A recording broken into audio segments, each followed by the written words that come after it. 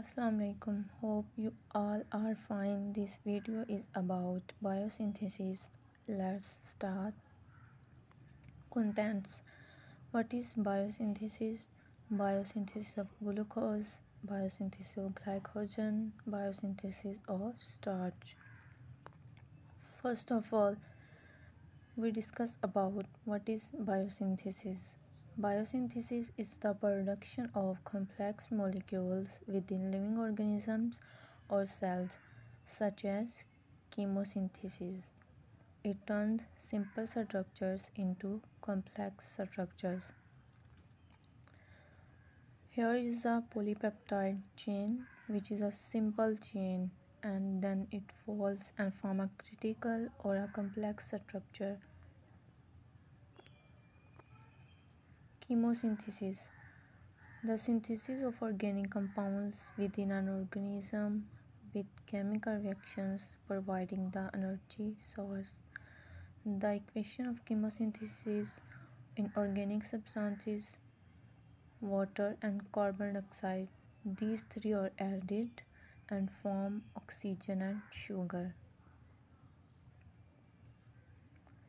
Here in ocean a fish in which hydrothermal vents, hydrogen sulfides, which are inorganic compounds, and carbon dioxide and water enter into fish and form a sugar. Biosynthesis of glucose. It is the synthesis of glucose from non-sugar precursors such as lactate. What is lactate? Lactate in female mammals milk secretion is by the help of lactate. Biosynthesis of glucose is also known as gluconeogenesis. Synthesis of glucose is a five-step process. After five steps, fructose 1,6 bisphosphate is formed. This is converted into fructose 6-phosphate and then converted into glucose 6-phosphate and finally glucose is synthesized. Biosynthesis of glycogen. It is the process of glycogen synthesis. It is also known as glycogenesis. It takes place when glucose levels are high to allow excess glucose to be stored in liver and muscle cells.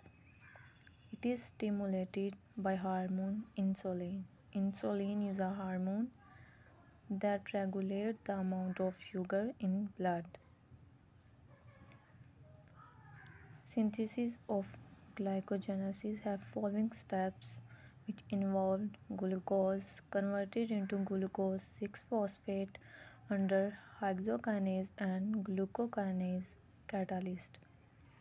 This converted into glucose 1-phosphate and the catalyst is phosphoglucomutase.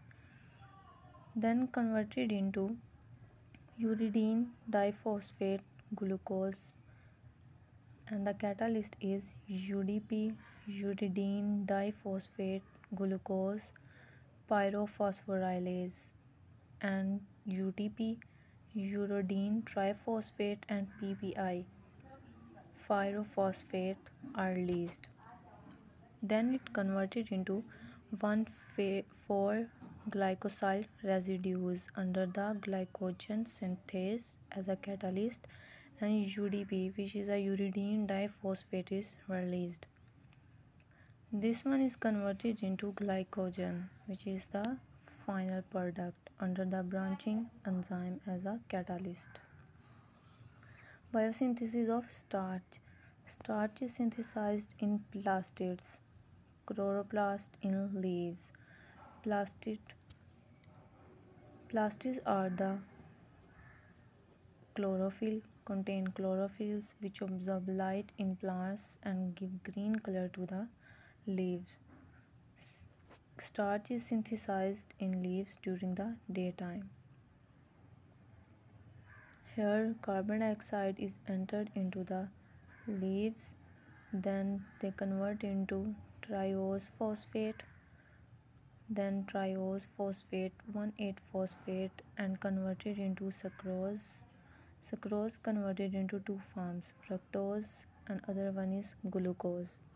Fructose converted into fructose 6 phosphate and the glucose is converted into glucose 6 phosphate and glucose 6 phosphate is converted into glucose 1 phosphate which is then converted into ADPG which is adenosine diphosphate glucose and they form a starch. Thanks for watching. Please like and comment.